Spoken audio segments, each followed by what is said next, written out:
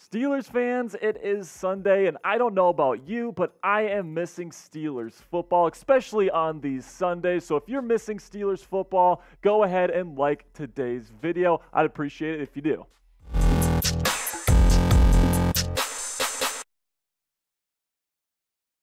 Welcome in into Steelers Talk Yinzers. My name is Jack. Today, I am going to be reacting to your Steelers mock drafts Earlier in the week, I asked for you guys to give me your Steelers mock draft, and you guys did not disappoint. We got multiple seven round mock drafts here to react to. I cannot wait to get going, so let's just jump right in to the first one that comes from Tony Daniel II. He has, and this is what he has Paris Johnson Jr. at number 17, Drew Sanders, the Arkansas linebacker, 32, Josh Downs, Eli Ricks, Kobie Turner, and Trey Dean. I think this is a pretty darn, uh, I think this is pretty darn good. I'm, I'm not sure if Paris Johnson Jr. is going to make it to the Steelers at 17. I think the I think the Titans are really interested in him right now at number 11, so I don't think he gets there. Uh, but if he makes it to 17, sure, why not? Drew Sanders, really good blitzing linebacker, someone that Mike Tomlin's really going to like. Josh Downs, a super shifty wide receiver. Haven't talked to him so far during the draft process, so I'm not sure how interested they are in Josh, but I guess we'll see on that. Eli Ricks, a boomer bust cornerback prospect. I'd probably want to take a cornerback a little bit earlier than that, but overall, it's a pretty darn good mock here, Tony. Next up here comes from Sean Manahan, and this is what he has. Joey Porter Jr. at number 17, every Steelers fan's favorite uh, Penn State Panther fan, uh, Nittany Lion, I should say. And then trade 32 for 42 and 98, not bad. At 42, you get Dawand Jones, the tackle from Ohio State. I like that. Steve Avila, guard TCU, that's interesting.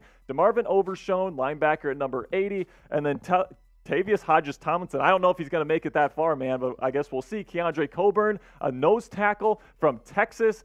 Uh, Stetson Bennett in the fourth round. That's interesting. Trey Dean, uh, uh, third safety, Florida. Uh, so I think this is a pretty darn good mock draft as well. Joey Porter Jr. is going to be a fantastic player. Some of these players I'm not sure are going to make it to where he has them. Tre'Vius Hodges Tomlinson probably not going to be there.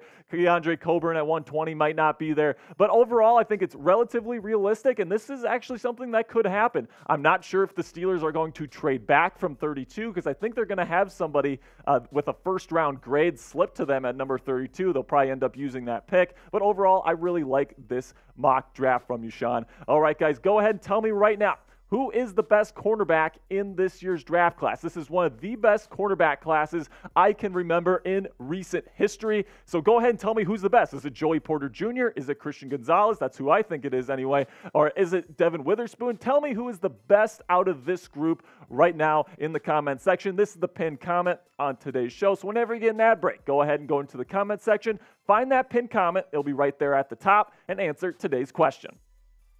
Our next mock draft to react to here comes from Jump Street 24. He has Christian Gonzalez in the first round. I mean, whoo, man, I think he's going to be a top 10 pick. He's my number one cornerback in this year's draft class, so I'm not sure if he's going to make it to 17, uh, Jump Street 24, but I like the confidence here. I, Anton Harrison in the second round, like that pick as well. I took him in my, I took him in the same exact spot in my last Steelers mock draft. Mazi Smith, Great run stuffer. Wouldn't mind that pick at all. Daiyan Henley, my number one inside linebacker. You guys know how to get to my heart there. And you got Colby Wood, Wolden, uh, edge rusher, uh, Rejzohn Wright, Ben Sims, and then you're going to sign Malik Cunningham as an undrafted QB option, which is pretty darn good if you ask me. I really like the Christian Gonzalez pick. If somehow he falls to the Steelers at 17, I think the Steelers have to take him. I think he's that good. I think he's going to be a star in the National Football League. All right, guys, first, uh, before we get into some more mock drafts here from you guys, I want to tell you about our sponsor at Fanatics, and they have a great selection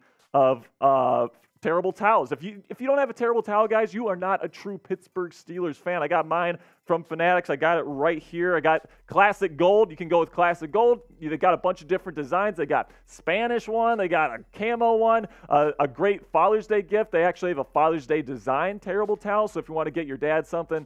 Uh, for Father's Day, that'd be a great gift. They have really great prices. It's about $12 a towel. You really want to check it out, guys. You got to go chatsports.com slash terrible towel to get your terrible towel today.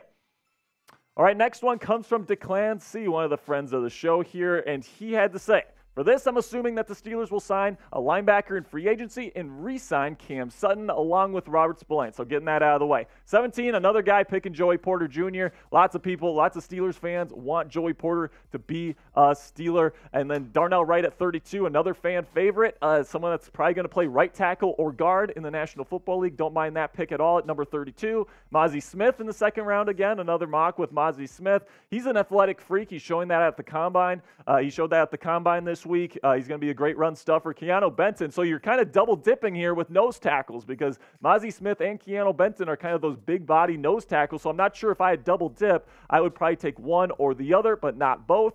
Uh, then Julius Brents, I don't think he's going to make it to 121. He showed out at the combine this week. I think he's probably going to be a day two pick. Uh, got a really long corner out of Kansas State. But if he falls to 121, then that's a great pick. Then you got Jerome Carvin and Noah Gindorff to finish it off in the seventh round. Pretty good uh, mock, if I do say so myself, Declan C. And then next up here, we got Trey. And he had Kelly Ringo at number 17. I, I mean, he ran a really fast 40. He's a freak. He showed out at the combine this week. Uh, so I'm not sure. I, I kind of hope that. Let's put it this way I would flip your number 32 pick, Calijah Kancey, with Kelly Ringo. I think Kancey is going to go a lot earlier uh, than 32. I think he showed out at the combine. He showed some really great stuff. And I think you could maybe get Kelly Ringo in the second round at the top of the second round because there's so many good corners. So I'd say flip those. Then you got Darnell Wright at pick 50. Don't think he's going to be there at number 50. Frankly, Mazi Smith, 81. He might be there. Drew Sanders, 121, probably won't be there. Drew Sanders will probably be a second or third round pick. And then you got B.J. Thompson. You guys know how much I love B.J. Thompson, uh, the freaky edge rusher out of Stephen F. Austin. The Max Duggan uh, coming up in the seventh round. So not bad whatsoever. I really like this. I, like I said, I would switch the first and second round picks. And then there's a couple guys in here like Drew Sanders and Darnell Wright that I'm not sure are going to be there at the slots that you have them. But overall, pretty darn good mock draft, Trey.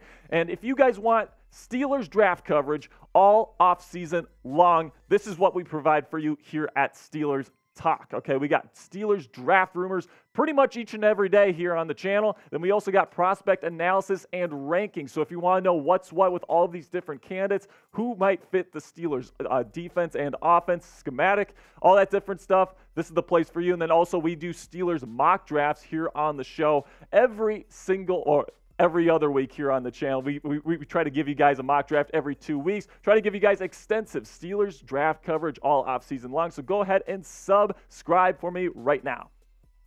All right, next mock draft comes from friend of the show, Dominic Schrader. Tunes in to every single show. He has Peasy Jr., which means Joey Porter Jr., number one. He's had him as his number one pick for the Steelers in every single mock draft he has sent me. Then you got Darnell Wright with the second round pick, not bad at all. John Michael Schmitz out of Minnesota, really good player, really good uh, plug and play interior offensive lineman like that pick. Gervon Dexter in the third round. Hopefully he would fall to the third round. Uh, if he fell there, that would be fantastic. He's a good run stuffer. Dorian Williams, the linebacker from Tulane, athletic freak, really showed out at the combine this week. Trey Dean the third in the seventh, not bad whatsoever. And then Dallas Daniels, the Jackson State wide receiver, pretty darn good mock draft, if I do say so myself, Dominic. And finally, guys, the last mock draft that I'm reacting to today is not is not Webb's World One, who has Brian Branch, the defensive back from Alabama in the first round. Really like Brian Branch. He's a Swiss Army knife. He would fit in well. And just imagine this de- this Steelers defense with Minkah Fitzpatrick and Brian Branch, two very versatile chess pieces for Mike Tomlin to deploy on defense.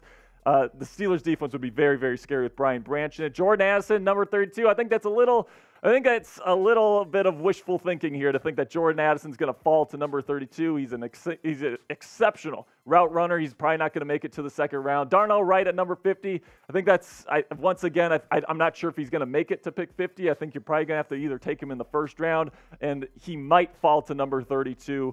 Uh, but 50 is going to be a bit rich there. And then Drew Sanders at 81. I think he's probably going to go a little higher than that, but maybe he falls to 81. Keanu Benton 121. That would be a really, really great pick. Great run stuffer, has a little bit of pass rushing upside. Really like him as well. And then Re- Rejzohn Wright, really like him as well. Cornerback Luke Schoonmaker.